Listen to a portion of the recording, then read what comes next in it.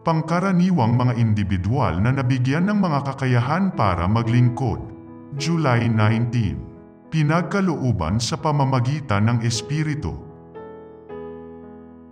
Ngunit sinabi ng Panginoon kay Samuel, huwag mong tingnan ang kanyang mukha o ang taas ng kanyang tindig sapagkat itinakwil ko siya. Sapagkat hindi tumitingin ang Panginoon na gaya ng pagtingin ng tao. Ang tao ay tumitingin sa panlabas na anyo, ngunit ang Panginoon ay tumitingin sa puso. Unang Samuel Kapitulo 16 Versikulo 7 Hindi tinatanggap ng Diyos ang tao dahil sa kanyang mga kakayahan, sa halip ay dahil hinahanap nila ang kanyang mukha na ninanais ang kanyang tulong. Tumitingin ang Diyos hindi sa pagtingin ng tao. Humahatol siya hindi sa panlabas na anyo. Kanyang sinisiyasat ang mga puso at humahatol na matuwid. Ngunit ito ang taong aking titingnan, kanyang sinabi, siya na mapagpakumbaba at may nagsisising diwa at nanginginig sa aking salita.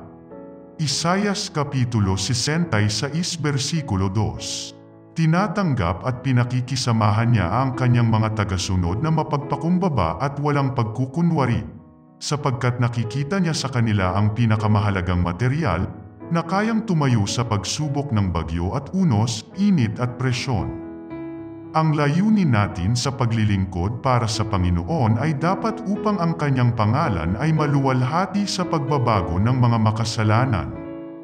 Hindi tinatanggap ng Diyos yung mga gumagawa para sa papuri. Maraming mga kaloob ang ginagamit ng Diyos para sa pagliligtas ng mga makasalanan.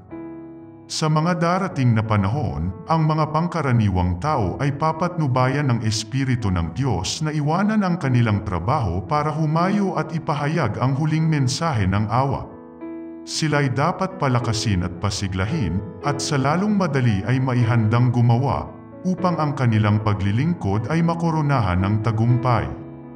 Sila'y nakikipagtulungan sa hindi nakikitang mga ahensya ng langit sapagkat nakahanda silang gumugol at magugol sa paglilingkod sa Panginoon.